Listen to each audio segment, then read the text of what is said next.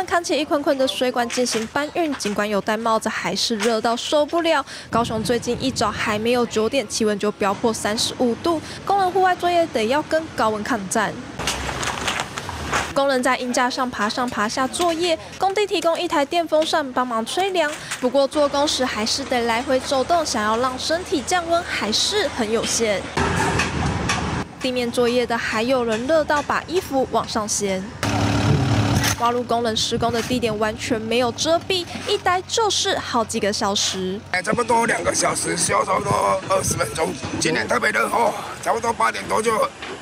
没办法了，就太热了。中央去年六月颁布高温户外作业劳工热危害预防指引，要求工地雇主要有对应预防措施，像是降温、给水、遮阳设备等措施。高雄劳工局今年至今已经抓到五个工地违规。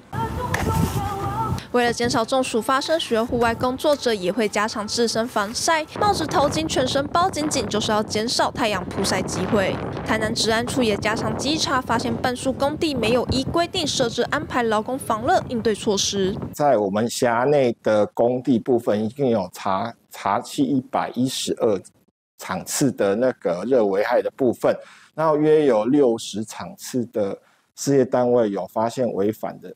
情势。最近一个星期，台南因为热伤害的救护案件就多达二十多件。户外工作者晒太阳无法避免，最好还是增加休息频率，多补充水分，并且随时注意身体状况，才不会热出问题。竞选黄轩、徐慧美唱报道。立刻下载《静新闻》App，一手掌握新闻时事，尽善尽美，静好新闻。